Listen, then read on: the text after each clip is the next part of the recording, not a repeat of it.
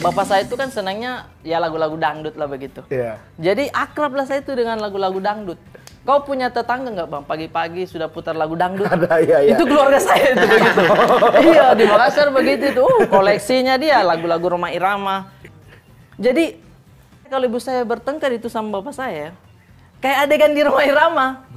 Misalkan nih bapak saya makan, ibu saya kan habis masak sayur, sayurnya nggak asem, sayur asem tapi sayurnya nggak asem kan, dimakan. Tuh, tuh, tuh, tuh. Hani, jadi ini yang kau lakukan padaku.